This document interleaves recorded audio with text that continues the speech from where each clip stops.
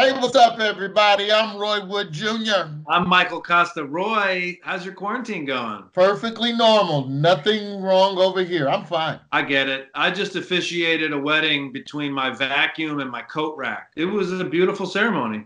Cool. People, if you're like Kosta and you're bored and you're looking for something to do, good news. The Trump's best word bracket is still going strong, and we're down to our final two, Kosta. I mean, all March, we're holding an online tournament to determine Donald Trump's best word ever. And now, after 2.5 million votes, like you said, we're Mhm. down to the final two. Now, before we look at the last championship matchup, let's look at some of the best words that weren't best enough. Yeah. Best just enough. He was awarded the Bronze Star and the Combat Infantryman Badge, declaring their whole state to be a sanctuary for criminal. You're going to see some statistics, statistics coming out of Jerusalem. And to replace chasms of distrust. Heart, lung, and liver transplants annually. Ghana, Guinea, Nambia. Yo, I'll be honest with you, man. I was really hoping that Nambia would pull it off. I mean, it's not a real African country, but you can't root against the motherland. You see my skin.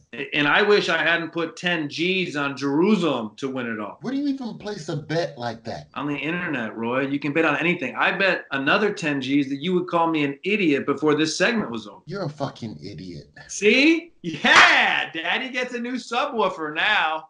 Boom, boom, boom. All right, those are the best words that didn't make it. It's time for the final matchup. The last two words in the Trump's best word bracket. Drum roll, Mr. Kosta. Bitty da boo, ba, boo, boo, ba. Have you never heard a drum roll before? Just play the clip. I hope they now go and take a look at the oranges, the oranges of the uh, uh, investigation, the beginnings. And God bless the United States. Thank you very much. Roy, I'm going with United States.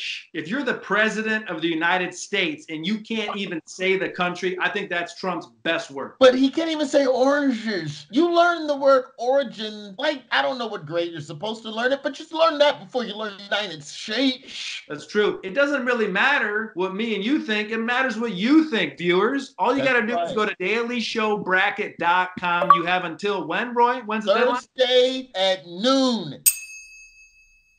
Go to the website and prove me right. And while you're on the internet, you can PayPal me, which is at my. Oh, I'm being told not to. I shouldn't say it. Oh, okay. You're an idiot. See, idiot. Another 10 G's. Guess I'm buying that recreational rental van. To go where, bitch? You on quarantine? See you, Roy. I'll be at the RV park.